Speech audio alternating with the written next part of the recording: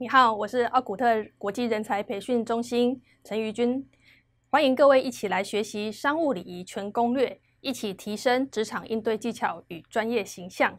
那大家都知道，在职场上，礼仪呢是一个很重要的一个关键。在我们的专业被看见之前呢，我们的礼仪呢要先能够展现出来。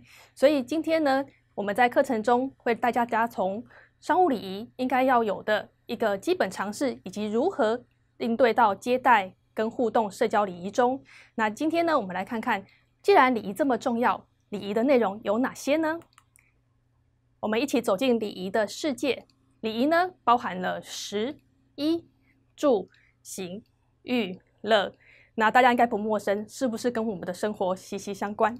那食当然就是用餐。那我们这次的课程呢，会以中餐以及西餐为主。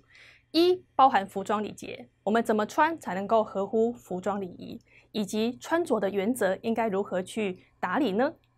住我们在拜访客户的时候，我们应该要注重什么样的一个互动细节？行呢，就是在接待。好，在此次的课程中，接待呢，我们会讲到应对礼仪的称谓。哈，好的开始是成功的一半。我们在称谓中，如果能够合宜得体，自然在接待过程就会流畅顺利。玉呢，就是社交礼仪，当然就是交换名片跟握手了。在疫情之后，我们的这个握手礼开始依然是国际礼仪的重要的一个关键。所以在遇到的时候呢，遇的这一个课程会跟大家讲到握手以及交换名片的礼节跟禁忌。月就是我们讲到的应酬互动。好，那应酬互动中，我们的交流说话要如何由浅入深的互动，在这次的课程里面也会跟大家做一个介绍。那在开始之前，我先简单的自我介绍，我是陈玉君，也可以叫我 Lisa。我在国际礼仪呢跟形象管理部分呢有将近十年的经验。在国际礼仪呢，大家都觉得像是一把尺，好，但是呢，在我的想法里面呢，在经由北欧奥古特的讲师认证以及德国莱茵国际礼仪的认证之后，我觉得礼仪呢在我们的生活中是息息相关。像是一把尺，你觉得它是规范，但是这个规范呢，却让我们可以更合宜、更自在。那在形象管理的部分呢，呃，在沟通色彩学的形象顾问师，我做过许多的个人咨询跟企业形象、专业形象的培训课程。我发现人们往往都流于忽略掉我们穿着的重要性。有时候颜色的选择你可能不太理解，但是我们穿着的合身度。跟穿着的一种呈现出专业的感觉，却容易被忽略。因为每天呢，我们穿衣服都流于制式化。有时候呢，到了不同的场合，其实我们应该要有一些不一样。甚至天天到公司，这个跟在家里感觉好像很长的时间。可是我们会发现，穿衣服要因地制宜。到了公司就要有商务专业的形象。在平常的活动或家里，我们自然可以轻松的去应对。所以呢，在我。呃，授课以及个人咨询将近十年以上的经验中，我发现许多受到职涯升迁的障碍，或者是在交易成交的时候的关键，很容易因为这一些礼仪或者个人形象呈现出专业感不够的这种情况而遭到的一个困扰。所以，如果你也有这样的困扰，在今天的课程中，我们会从职场的商务礼仪以及形象管理如何呈现出专业感，让我们的专业能被看见。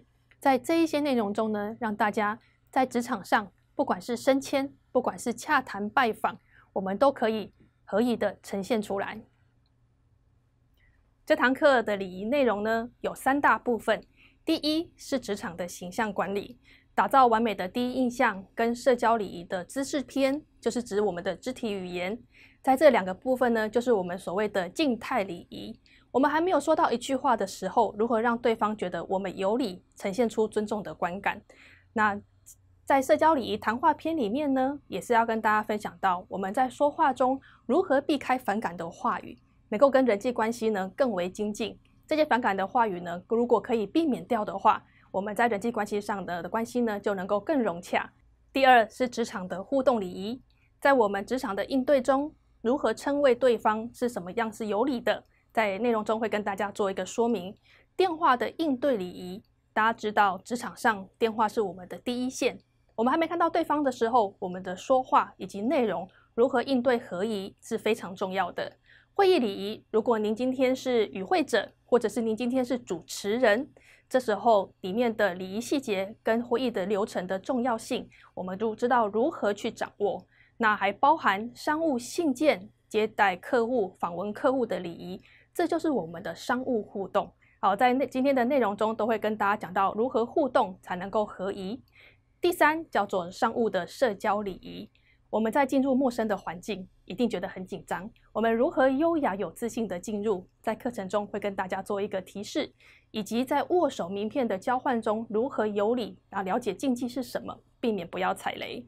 那在社交互动中一定要说话，如何的说话由浅入深的交谈。之后若您又有餐会、餐桌礼仪的交流技巧，也是在商务社交礼仪的这一个章节中会跟大家分享到的重点。那我们就一起进入今天的课程吧。